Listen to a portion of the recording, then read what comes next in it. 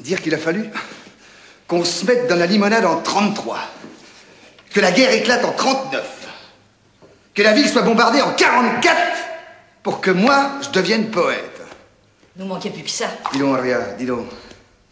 Celui qui nous aurait dit ça il y a seulement 20 ans, quand on s'en allait sur les routes, là, derrière la jument.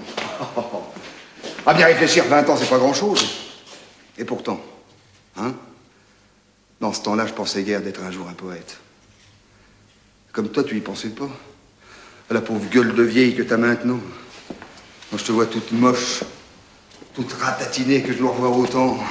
Où on courait les foires, toi, en maillot rose. Sur l'estrade, comme ça.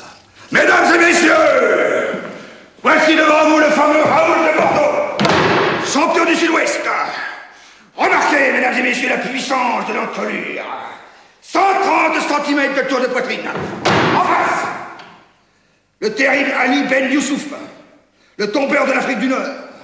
Le seul homme au monde qui ait osé se mesurer avec un gorille.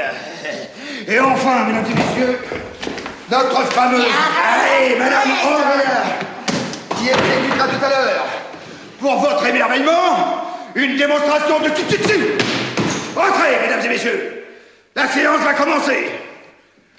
Toi, t'étais là, bien en chair, bien roulé, d'aplomb. Tes cuisses en disaient plus long que mes boniments, c'est comme ta poitrine, hein. Tous les hommes avaient l'œil dessus. Et vingt ans après, plus de cuisses, plus de poitrine, plus de Raoul de Bordeaux, il est mort. Et Madame Andrea, une petite vieille, un vieux sac d'os.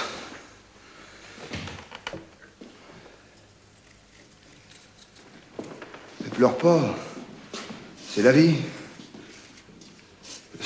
Si t'étais comme Andromaque.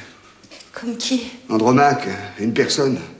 Si j'avais été tué à la guerre, si le bistrot avait brûlé, si, si t'étais entre les mains d'un étranger, si t'étais son esclave, là tu pourrais pleurer.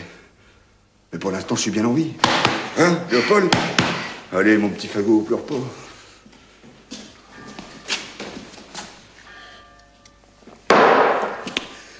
Voilà que je demande à M. Vatrin ce qu'il buvait Racine quand il travaillait.